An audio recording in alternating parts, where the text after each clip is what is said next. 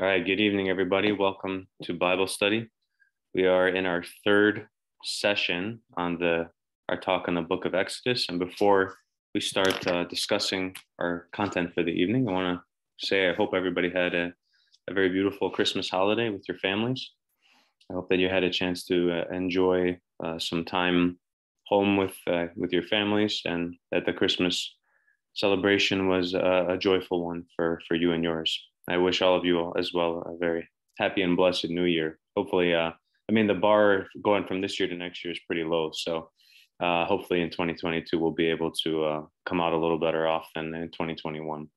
So uh, with that, we'll uh, we'll begin. Uh, I'll, we'll catch everybody up. So last last week we continued our talk on the life of Moses as we read it in the book of Exodus, and we talked started our talk with the the chapter, chapter three, which was Moses talking to God in the burning bush. And so God calls Moses to be his, you know, his mouthpiece, his his authority in Egypt, and to kind of do the works that God has has planned, you know, to be kind of the focal point of the this independence movement. And we see Moses and God talk at length about what's going to happen and how these things are going to come to pass. And Moses raises many objections. And in the end, God brings uh, Aaron along to help him. Aaron is Moses' brother. And now Aaron is also uh, going to help Moses in this task of uh, liberating Israel. And so uh, God gives him, God gives Moses several signs that he's going to do to help the people, his own people, the Israelites, believe uh, in what Moses is saying. We talked about the divine name of God, which uh, God reveals to Moses uh, Yahweh, and um, and now we are just at the very beginning of the contest between the God of Israel and Pharaoh and the gods of Egypt, and so uh, we will begin tonight with chapter seven, and we will discuss the first nine plagues. So probably most of you know there are ten plagues as we find them in the book of, of Exodus there's 10 plagues altogether. We're going to talk about the first nine. The last one deserves its own uh, its own discussion, um, but we'll be talking about the first nine today. And what I'm going to do tonight is that we're going to go through chapter seven, um, line by line, which is the first uh, plague, and then we're going to kind of sum up the rest of them, and then kind of I'll give kind of some general themes and general points um, after after that. So we won't go through all of the chapters. We're going to be doing chapters seven through ten tonight, and um, so that's kind of the format that we'll take uh, this evening. So if you have your if you have your Bibles, uh, or if you're following along with the text uh, online, we're going to be in Exodus chapter seven, or you can just listen because I'll be I'll be reading the passages as we get to them. All right, so chapter seven, verse one. Then the Lord said to Moses, See, I have made you like God to Pharaoh, and your brother Aaron will be your prophet. You are to say everything I command you, and your brother Aaron is to tell Pharaoh to let the Israelites go out of his country. But I will harden Pharaoh's heart, and though I multiply my signs and wonders in Egypt, he will not listen to you. Then I will lay my hand on Egypt with mighty acts of judgment. I will bring out my divisions, my people, the Israelites and the Egyptians will know that I am the Lord when I stretch out my hand against Egypt and bring the Israelites out of it. So the, the chapter begins with this interesting statement that God makes. He tells Moses, I have made you like God to Pharaoh. So St. Ambrose of Milan, who obviously is a bishop from Milan, um, during the time when the East and West were one church, uh, he explains that the Bible uses the, the name God in three ways. So there's there are gods in name only, like Moses and the saints. We have false gods, the demons, the idols, uh, the, the pagan idols. And then we have the one true God. So Moses is a God in that first sense. He is a God in that, uh, in name only, in that God has given him authority to speak to Pharaoh on God's behalf and to act on God's behalf. So he himself, he's not making Moses into a God. He is just giving him, Moses is kind of like becoming a channel for God's power um, in this process. And so he says, I have made you like a God to a Pharaoh. So Pharaoh will can now consider you like a God. Um, it almost again kind of tag, tag teams God and Moses the same way that Pharaoh and the gods of Egypt would have been tag teamed as well. Uh, how you know Pharaoh considered himself to be a god, as as all ancient cultures did. They they believed that their their kings and rulers were gods, uh, and part of the the pantheon at that time. So Moses will kind of stand in that same place for the Israelites and for Yahweh. Um, in Christ, in the you know in the church in the New Testament, the divine energies of God will be shared in the same way that now is happening with Moses, with all those who believe and are faithful to him, uh, making us gods by grace. You know, Saint Athanasius uh, in his in his work, uh, in his writings on on the life of Christ and the the impact that the life of Christ has on us people, he says that God became man so that man can become God. So in Christ, you know, we can become godlike, not through our own works, not through our own essence, or you know, not anything that's from ourselves, but in our union with with Christ. And we see this also in the scriptures in Psalm 82, verse 6. Uh, we read from the, the, the prophet King David, I said, You are gods, you are all sons of the Most High. So even in the Old Testament, we have this idea that, you know, God kind of makes, you know, gods by name uh, through their com- commitment and, and love and faith in Him. Um, one other note on this little section here, the first five verses, you know, we hear that phrase again, I will harden Pharaoh's heart. And if you were to read these chapters, chapter seven to 10, you will hear that, you will hear that line again and again. So I just wanted to, I know we talked about this last week as well, but I want to talk about it here too. When it says God is hardening Pharaoh's heart, what that really indicates is that God is allowing Pharaoh to have a hard heart against him. Pharaoh is choosing by his free will to be stubborn and to be prideful and to not acknowledge God and to uh, to not submit to his will. And God is not making him do that. He's simply allowing him to do that. He is allowing Pharaoh to act evilly because that's how that's what God does. God allows mankind to choose for him for itself, you know, good or evil, you know, to, to be united to him or to live apart from him. So uh, when we hear that, we shouldn't think that God was making Pharaoh do anything, um, because if we do, that's that kind of uh, leads us to the conclusion that God is the one causing evil uh, in the world, which obviously we don't believe. So um, with that, we'll continue now. We're in chapter seven, verse six. Moses and Aaron did just as the Lord commanded them. Moses was 80 years old and Aaron 83 when they spoke to Pharaoh. So that's where we get there the ages of uh, Aaron and Moses, um, according to tradition and uh, scripture as well. And that's where you get that distinction of Moses was 40 years in Egypt and then 40 years in Midian. And so when now when we get to this point where now he's standing in front of Pharaoh, returning to Egypt, he's 80, 80 years old. Uh, I know we had discussed those time frames in earlier sessions.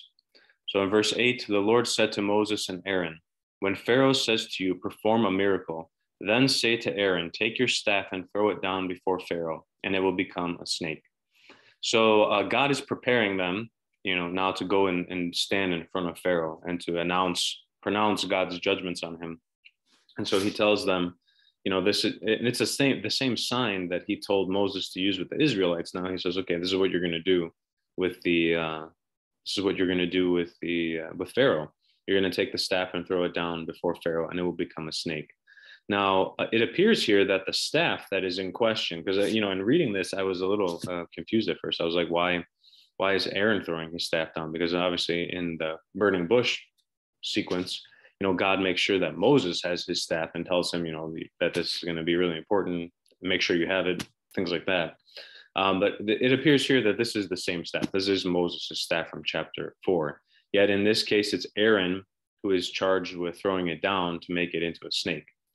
Uh, this is the same staff as we read these chapters and go through these chapters that will be kind of the focal point of all the miraculous things that are happening in this book.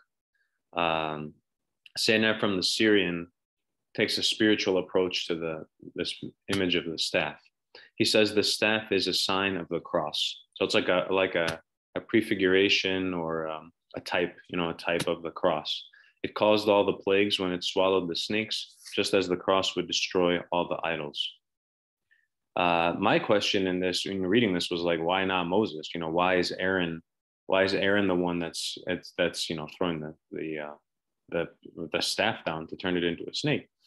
And uh, I in one instance, uh, you know, Moses and Aaron are now a team, so they both have to they both have to kind of take part in this process.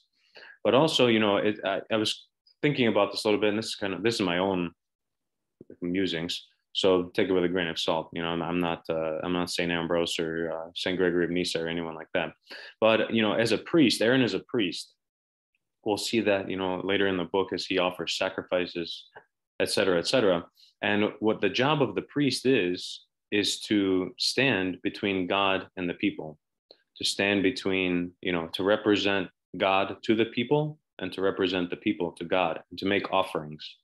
So that's the priest's job. And so in this case, Aaron is the one that stands between God and Pharaoh. And so it, it's kind of fitting in one sense that Aaron is the one doing that because uh, he's that's his that's his role as a priest. You know, it's it, it makes sense then that now in this case, um, he's the one that's going to act throwing the the staff down to turn it into a snake.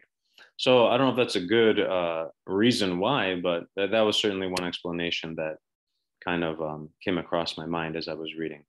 So now we get to verse 10. So Moses and Aaron went to Pharaoh and did just as the Lord commanded. Aaron threw his staff down in front of Pharaoh and his officials, and it became a snake. Pharaoh then summoned wise men and sorcerers, and the Egyptian magicians also did the same things by their secret arts. Each one threw down his staff, and it became a snake. But Aaron's staff swallowed up their staffs. Yet Pharaoh's heart became hard, and he would not listen to them, just as the Lord had said. So uh, the Aaron does the sign. Pharaoh's magicians do the same thing, um, trying, trying to like discount, you know, the miracle. And then Aaron's staff eats the other snakes, eats the others. So it, again, it, it's kind of like the prefiguration, uh, kind of like a foreshadowing of everything that's about to happen. And Pharaoh, of course, is hard as heart uh, and he will not listen to them. And so now he is going to bring God's wrath upon him.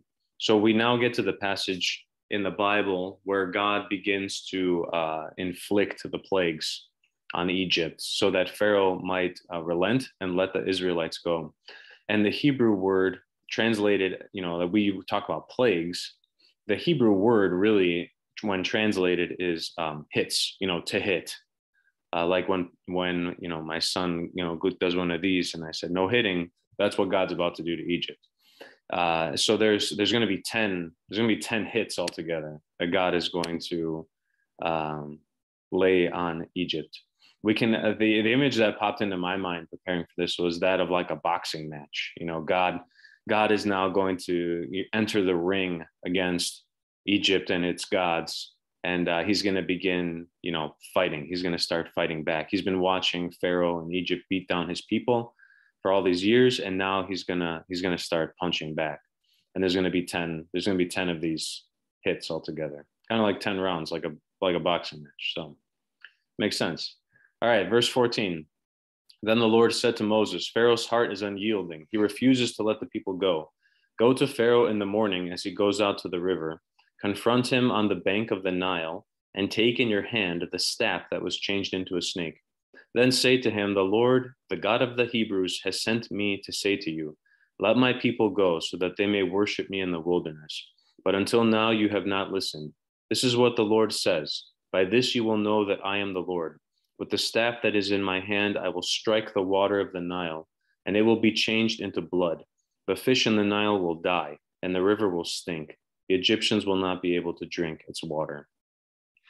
So uh, we've God gave Moses three signs in the beginning. One was the the staff turning into a snake. The other one was the leprous hand. You remember he puts his hand in and out of his cloak, and it becomes leprous and is healed again. And the last one was turning water into blood. And so we've seen now Moses has already shown Pharaoh the first one.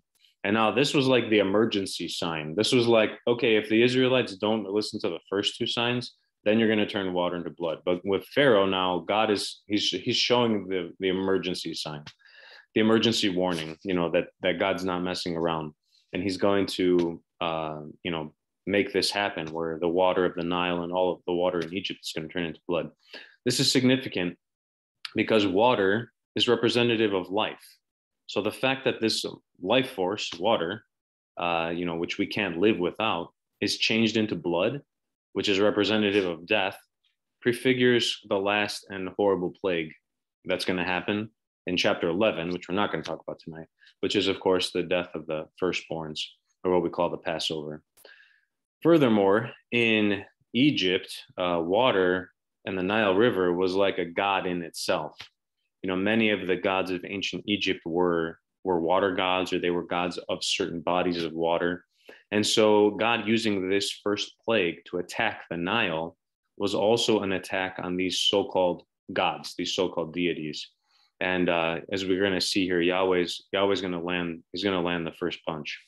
Uh, Father Lawrence Farley has a nice little book. It's called Walking with Moses. Uh, in, in that book, he adds an interesting note that the Hebrew word for blood was not only used for the substance that flows through our veins, but also to indicate color, i.e., red.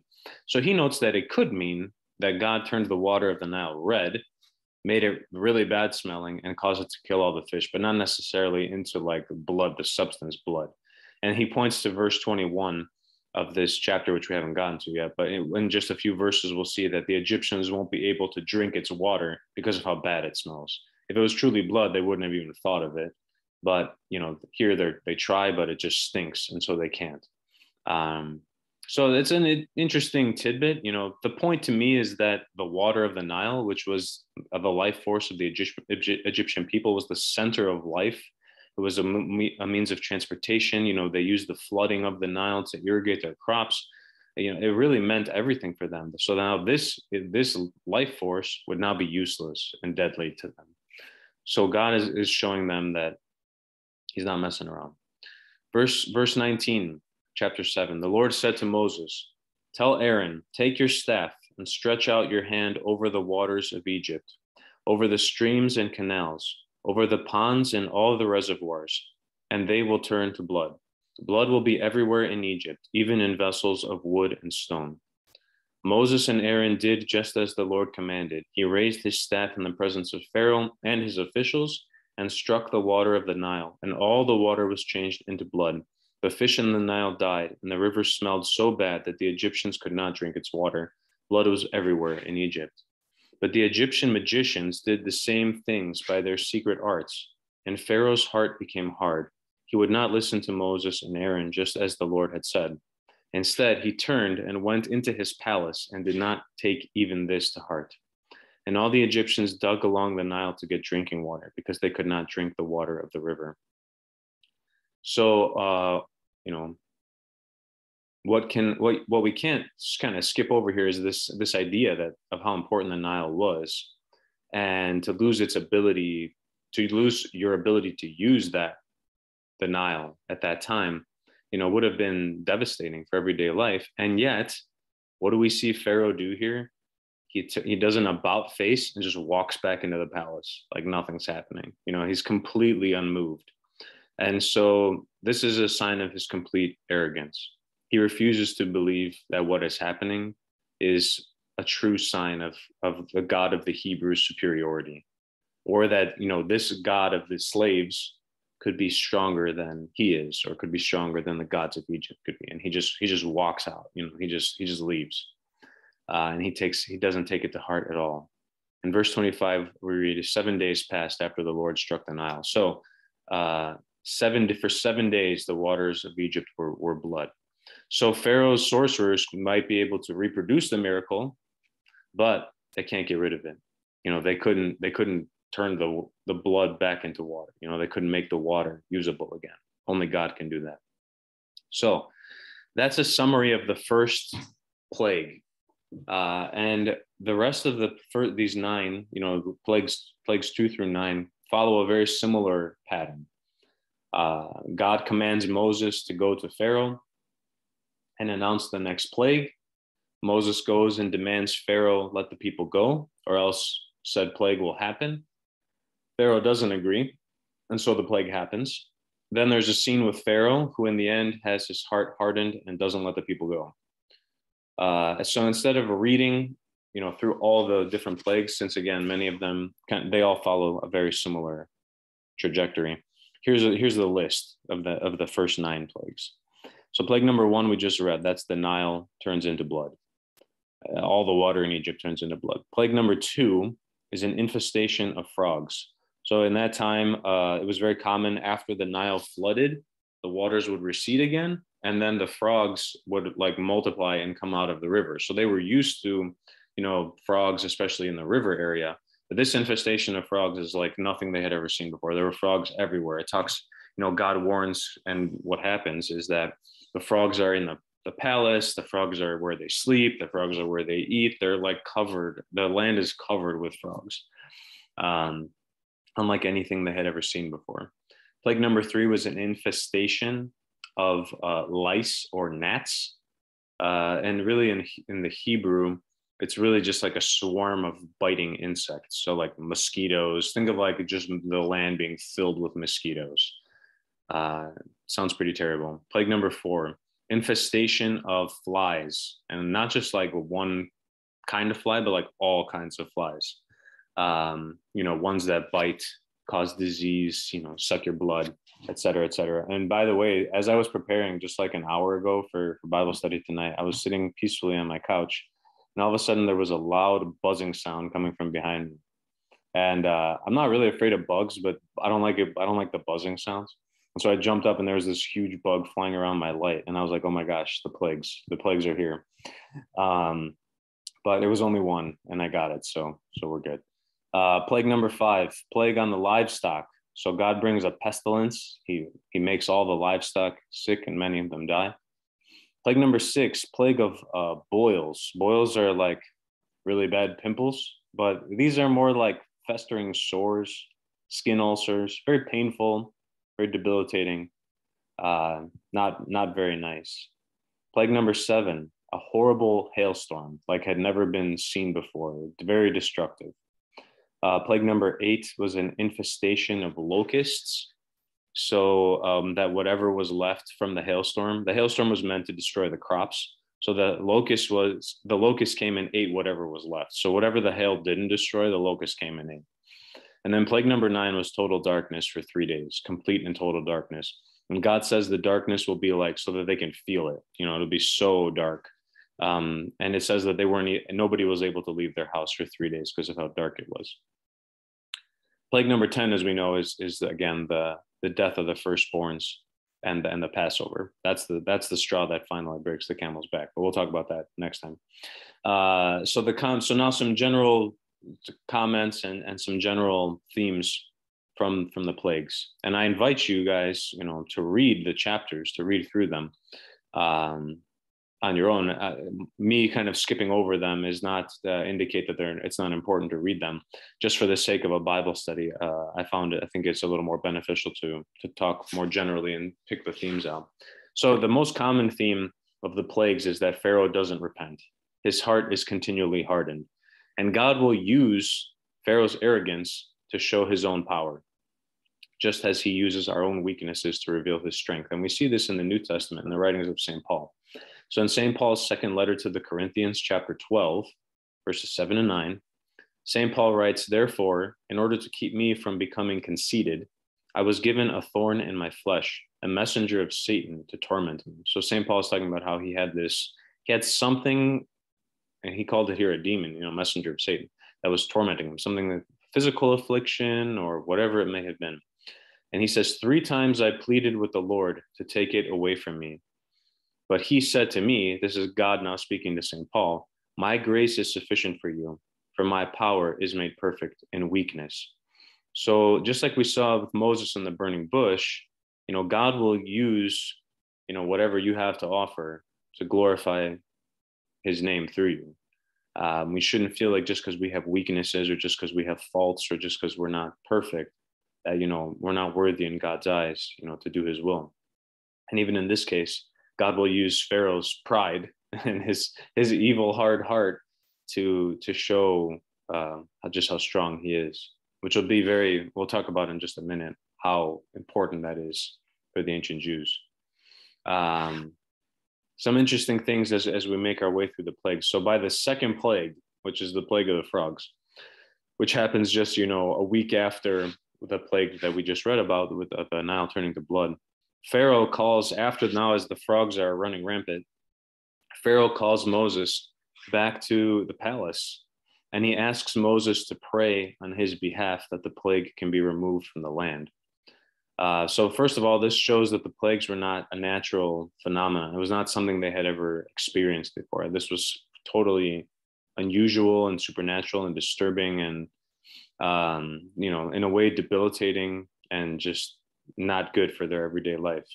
Uh, and that these these things are a judgment on Egypt from God, and only God can remove them. Interestingly, three chapters earlier, when Moses comes to Pharaoh in chapter five, Pharaoh refuses to acknowledge God at all. Remember, he asks, for those of you who were with us last time, you know, he asks Moses, uh, "Who is he? Who is who is the God of who is the God of the Israelites? You know, that I should listen to him." Now, three chapters later, Pharaoh is asking Moses to pray to God on his behalf. Even so, he himself will not go and worship God. He himself will not bend his will and be humble and, and do the will of God. Um, he but he at the very least now is acknowledging you know that these things are are coming from god you know and moses it's it's uh it's funny when you read in uh, i believe it's in chapter uh, still in chapter 7 um when pharaoh makes this request uh moses kind of gives a snide comment he says oh i leave you the honor of setting the time for me to pray for you and your officials and your people that you and your houses may be rid of the frogs so he tells Pharaoh, "Oh, just tell me, tell me when. You know, tell me when you want me to go and, and pray, and, and we'll we'll make it happen." Um, so he uh, he's kind of in that way. He's like kind of taunts Pharaoh a little bit there, um,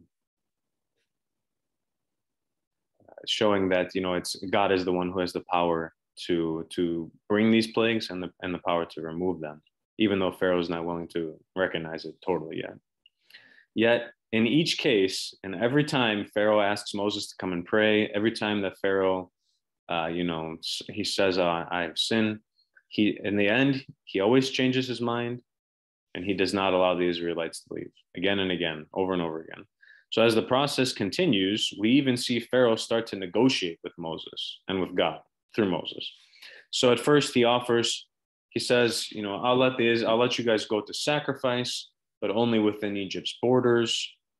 Uh, he says, okay, you guys can go and sacrifice, but only the young men, not their families.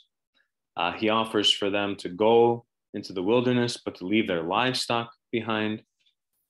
And all of these really are like, again, he's trying to like negotiate so that the people won't leave and not come back. He's trying to keep them in, in captivity, which is in direct opposition to what God is trying to, what God's request is really about, which is freedom at one point he even tells them that they can leave you know he he says i have sinned um you know he says i have sinned and uh you know my god is your god is righteous and i'm i'm evil but even then when he says that he's not he's not sincere he's not he's not he's not giving an admission of doing anything wrong but only that he didn't give god his due respect as a legitimate deity so in each plague, again and again, he's not willing to humble himself and fully submit to God's will. And this ultimately will be his downfall.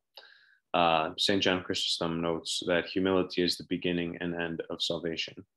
And we see that we see the opposite case in Pharaoh. Uh, Pharaoh wants to take what God wants, which is for his people to be free, and substitute something else. And this can in no way be acceptable. You know, there's no God does not, you know, God, God does not negotiate. Um, we as Christians have to take this to heart as well. You know, when we discern God's will for us in our life, we can't compromise. You know, when we read the scriptures, then we, you know, go to confession and we have spiritual direction placed in front of us, and we can't we can't compromise.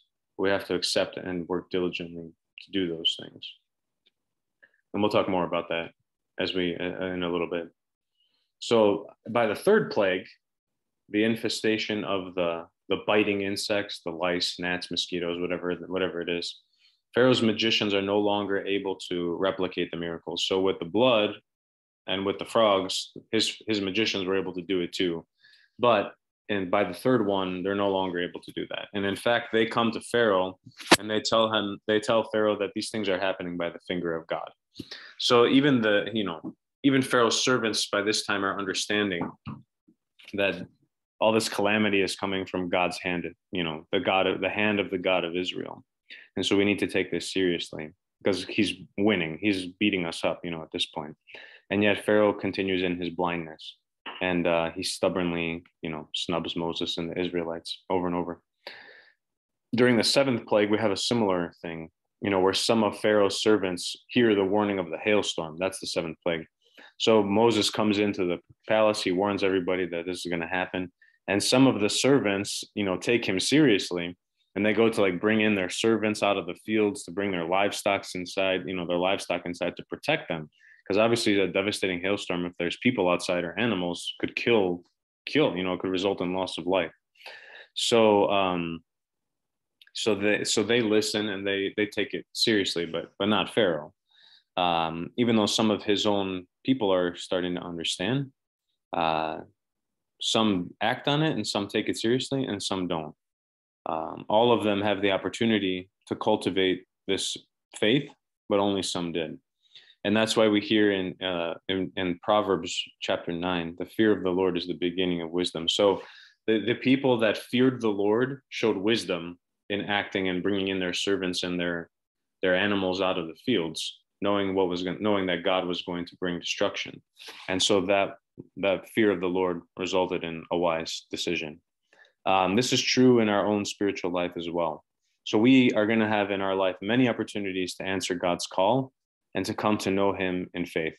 But it will be up to the state of our hearts, open or closed, you know, soft or hard, like Pharaoh, you know, how we're going to answer. The spiritual life is a process of softening the heart and opening our hearts to the, to the very presence of God Himself and to His will. Father Lawrence Farley, I'm going to quote him directly here. I thought, I thought this paragraph was really important in his writings. Father Lawrence Farley, he writes on this on this topic you know he he compares us to pharaoh and how many times we refuse to do god's will but he writes that our refusal and i'm quoting now our refusal to submit to god is not couched in terms of refusal but of silent and unacknowledged negotiation and we talked about this just a minute ago about how pharaoh tries to negotiate with god and how this is unacceptable so he's so father lawrence is saying that when we when we reject god's will it's usually not an outright rejection. It's usually in that we try to do this process of negotiation and you know offering a little bit but not the whole thing. So now i'll continue father lawrence. We believe for example that all of our time is our own and we decide for ourselves how much of it we will give to god bargaining a sunday morning in exchange for a religious checkmark or good standing we might believe that all our wealth is our own and decide for ourselves how much of that we will give to God, perhaps a small contribution to a charity every Christmas time. Because God is God, and because our happiness depends on our constant communion with Him, God demands all. All that we are must give to Him. Uh, to sum that up, partial obedience is not obedience, it's disobedience. There's no such thing as negotiating with God because or at least there's no good resolution to negotiating with God because the only way that we can reach eternal life, the only way that we can experience the joy and peace and life of the kingdom is through complete obedience. That's the only way. There's no there's no alternative. You know, there's no we have to be obedient to God's will if we want to be if we want to live eternally. Uh, C.S. Lewis sums it up very beautifully. He talks about the judgment and he says that at the end time, I'm sure I've said this before. I, I quote this all the time because I find it so profound. Uh, he says that um, in the end, either we will tell God, Thy will be done, or God will tell us, Thy will be done. So, in other words, either we will submit ourselves to God and allow Him to save us, or God will see our pride and our unwillingness to, you know, humble ourselves before Him and say, "Okay, have it your way." and that will lead to destruction, which is really like literally what we're seeing happen now in the book of Exodus. All right, some more, some more themes. By, by the fourth plague, which is the plague of the, the flies, the biting flies, uh, the swarm of flies, I should say. Moses makes it clear to Pharaoh that these things are only happening to the Egyptians, not the Israelites. So uh, this is to raise the contrast, so to speak, to show the difference between the Egyptians and the Israelites, as well as the gods of Egypt and the gods of the God of Israel, the one true God. So Pharaoh's gods may be the gods of Egypt, but they are not the God of the Israelites. They are not the universal Lord of all heaven and earth. Again and again in these plagues, God attacks and overwhelms the so called gods of Egypt. We already saw this in the first plague, right? We talked about how the Nile was like a god in of itself and how the water god, you know, there were different water gods and how God, you know, completely does whatever he wants. You know, he turns all the water into blood. In the second plague, you know, the frogs were symbolic of the fertility gods of ancient Egypt. And so again, God overwhelms and defeats Egypt's fertility gods. And in the fifth plague, he strikes down the, the livestock, which, you know, the, the livestock in ancient Egypt were worshipped as deities. And here God afflicts them with sicknesses and many of them die. In the sixth and seventh plagues, God destroys their crops and their harvests, which again had their own gods that were in charge of the harvest and of the, the flooding of the, the fields, et cetera, et cetera. And God completely defeats them. And in the ninth plague, God defeats the sun, the sun god. You know, he brings darkness on the land. Um, and so God defeats this, the sun god Ra, who is one of the most important uh, Egyptian gods. Interestingly, this we don't find this in scripture. We find this in holy tradition. Um, when Mary and Joseph uh, flee, which we just heard the story last week, when Mary and Joseph flee uh, Bethlehem to go to Egypt to save the life of Jesus because Herod was, you know, killing the, the innocent children from that area. When they go to Egypt, um, tradition states that as they were passing by the pagan temples, the pagan temples were crumbling to the ground and were completely destroyed as, as they were passing by. Why? Because this same God that is humiliating the gods of Egypt in the Exodus story is that little baby, you know, is that is the is that child, you know, being taken to Egypt now for his safety. Um, so I, I thought that was a nice kind of the next step of the story, right? Jesus returns, Jesus goes to Egypt or returns to Egypt in one sense, and um, the, the idols and the gods are still crumbling before him. Uh, Saint Gregory of Nyssa, one of the Cappadocian fathers, he believes that the Israelites were not afflicted by any of the plagues, and that they were so unaware of what was going on that they had to be notified of the travails of their Egyptian neighbors. Uh, and this is clear in the ninth plague, which is the plague of the darkness. So in chapter 10, verses 22 and 23, I'll just read those couple of verses there. So Moses stretched out his hand toward the sky, and total darkness covered all Egypt for three days. No one could see anyone else or move about for three days, yet all the Israelites had light in the places where they lived.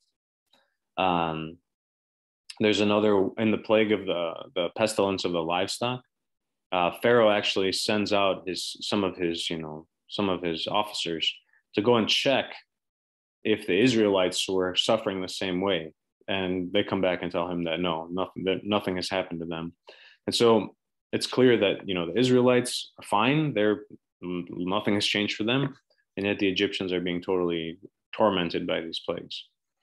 Uh, Saint Gregory continues, and he makes the point that the experience of these plagues were so different for the Israelites and Egyptians, even though they lived side by side because of the disposition of their hearts. So, Egypt itself, Pharaoh and Egypt in this book, are representative of, of evil and a life of sin. Uh, for those who are sinful, for those who live apart from God, the end result is destruction, just as Egypt is destroyed as a result of these plagues. Um, you know, when we don't know the one true God, we live in total darkness.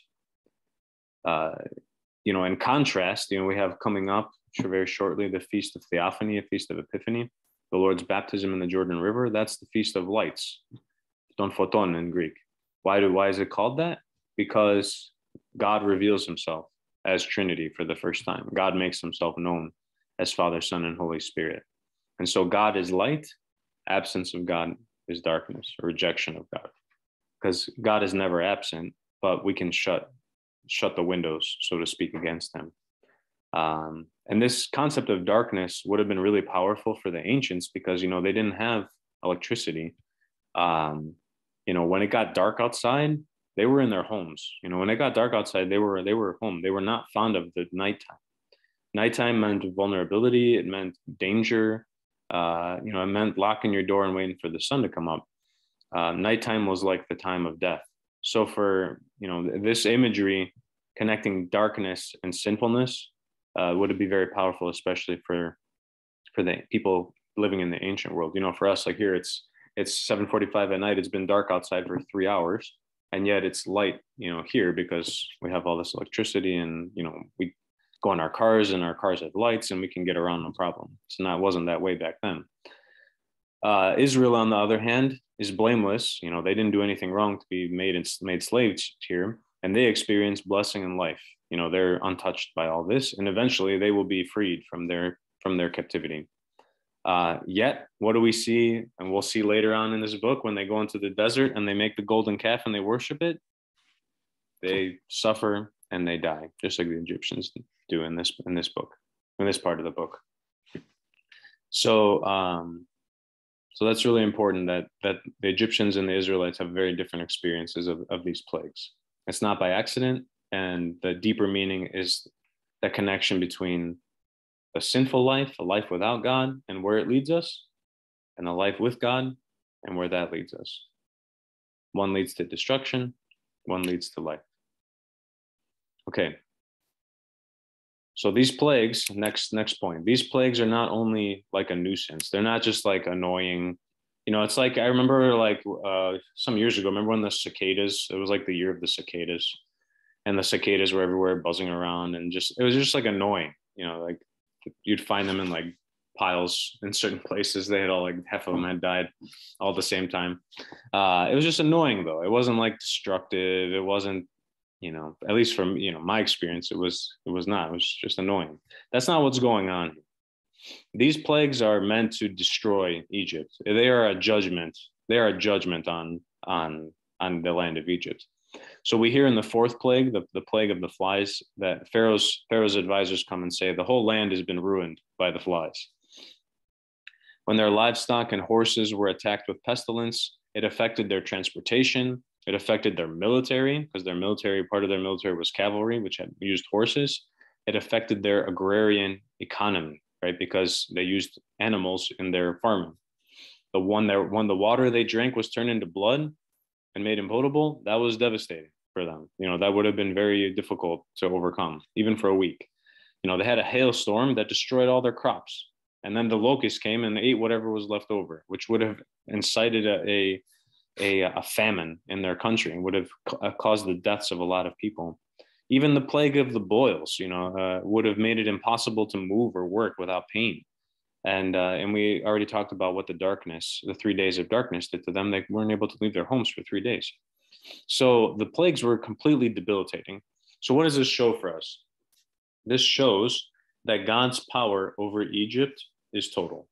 There's nothing they can do except humble themselves and submit to god's will that's the only rational solution to egypt's problems right now and before the seventh plague so we get the first six plagues which is through the uh, through the boils? No. Yes, through the boils. So after after everyone's been afflicted with boils, which sounds awful, God, you know, God warns Pharaoh, and he tells him, if you continue to be stubborn, I'm going to unleash my full force against you, and you will be cut off from the earth. So uh, God warns him sternly and sincerely, and says, you know, I'm not I'm not messing around.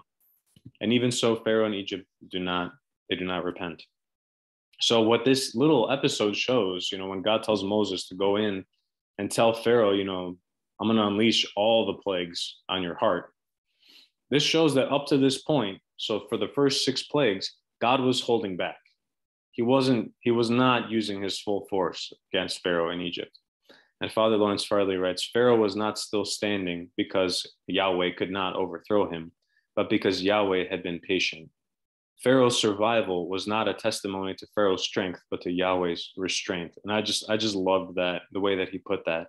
You know that that God actually in those plagues, you know, could have made it much worse. You know, that God could have completely just destroyed them in one foul swoop. Um, but he hasn't. He's actually been showing restraint. But these last four plagues are the harshest and they're the most destructive. Why? Um, why doesn't God just, you know, boom, just you know, take them out all in one, all in mia kali, as we say in Greek, all in one? Uh, it's because he wants to use this these plagues to humble Egypt before the whole world, and so that the Israelites will know forever that who God is. Um, but we'll talk about that in just a second. I have one more point before we get to that.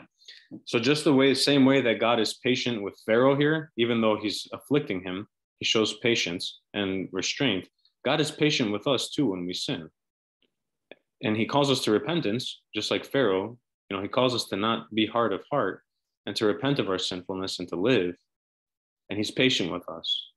But in the end, there will be judgment even for us as Christians, like, you know, we believe in the end that there will be a judgment, you know, that the judgment is coming.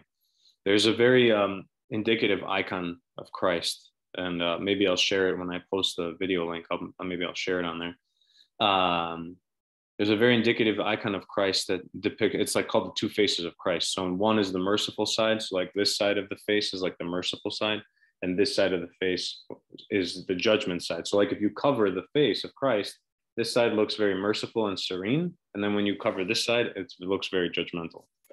Um, so that's that's that's the rea- that's a reality for us as, as Christians. You know, we re- believe in the resurrection of the dead. We believe in God's love and mercy. But if we have hard hearts like Pharaoh, then in the end there will be judgment. Which again, as we talked about for us, is God uh, God submitting to our will to be apart from Him, which which is death itself. You know, being apart from God is death we could have a whole nother Bible study just on that topic, but um, just to connect to that point there, you know, that Pharaoh, God being patient with Pharaoh, God is patient with us, but the time will come when, you know, our life ends and we'll be standing in front of Christ and then we'll be judged. So, as I mentioned, you know, God uses these plagues and God continually, again and again and again and again and again, brings these plagues on Egypt to show the Israelites and to show the whole world, but mainly to show the Israelites for all time and in every generation just how strong their God is and how easily his will is accomplished. So these stories will be told again and again to help the newer generations of faithful know the Lord. Uh, you know, these are the stories, you know, God afflicting Egypt and turning the river into the Nile River into blood and sending upon them the the locust and the hailstorm and the darkness and you know the passover et cetera et cetera. These are the stories that will connect the people of israel the newer generations and we'll see that a whole generation dies in the desert as they walk to the promised land. A whole generation dies. This whole generation that leaves egypt they all die and we'll talk about that when we get there and so this new generation that wasn't there to witness all these things how will they stay connected to God? Through the stories of everything that is happening right now. Um, you know, they will know what God has done for them in the retelling of these events. That God is the one true God and that He has chosen His people. And um, the same thing goes into the church. We, as the church, are the continuation of Israel. We're the new Israel, the new Jerusalem. And so we do the same thing. We remember and we recount and we tell the stories of the great works of the Lord. And in the church, we do it every year through the feasts. You know, we just had a great feast, December 25th, every year. We celebrate the birth of Christ.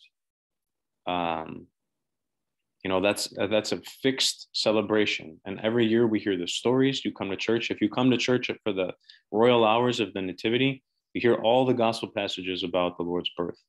You know, in the Vesperal liturgy, you hear the Old Testament passages that refer to the Lord's birth, and then you hear the more gospel passages and the, the epistle readings, and and we recount and we remember in icons and hymns and re- in Scripture all the things that the Lord has done. We have another great feast coming up shortly, which is the Lord's baptism, Epiphany, and again the same cycle will start. And we have those fixed feasts. You know, we have we have the celebration of, of Pascha, we have uh, the Palm Sunday, we have the Lazarus Saturday, uh, we have um, you know, the presentation of the Lord in the temple. Uh, we have um, the uh, Evangelismos, March 25th, the Annunciation with the Virgin Mary. And these things are celebrated again and again and again. These stories are told to us again and again and again. And in doing so, by participating, just even by going to church, right? Even by attending the liturgical services on those days, we become witnesses of those events. We become participants. It's like we're there, you know, it's it's like we're seeing those things happen with our own eyes. Um, and that's why the liturgical life of the church is so critical. And in many of the hymns of the church, and many of the, especially the feast day hymns, they start with the word today, right? Think about Holy Friday, Holy, uh, Holy Thursday night, excuse me, Holy Thursday night, as we're reading the 12 Gospels. We, at, at that point, after the fifth Gospel, I believe it's the fifth Gospel. I'm in Christmas mode, not, not Lent mode yet, but we're getting there. Um, we come out with holding the crucified Christ, right? The church is darkened. We come out, we bring the Christ out of the altar, and he's on the cross. And what does the priest say? Simeron kremate, today is hung on the wood, right? Simeron kremate pixilu, today is hung on the wood. He who suspended the earth upon the waters, today, right? The word is used is today, Simeron, today. So when we come for those services, it's it's like we're there. It's like we're witnessing it happening again.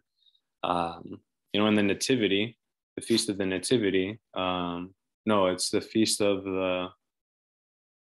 Oh, I forget. Simeronti Sotirias, Evangelismos. I don't know. I'm I'm I'm tired. It's it's been a long week after after Christmas. But again and again we hear that word Simeron, Simeron. Today, today, everything's happening today. Everything's happening right now. Um, it shows that in the life of the church, we aren't just telling stories of things that have happened in the past.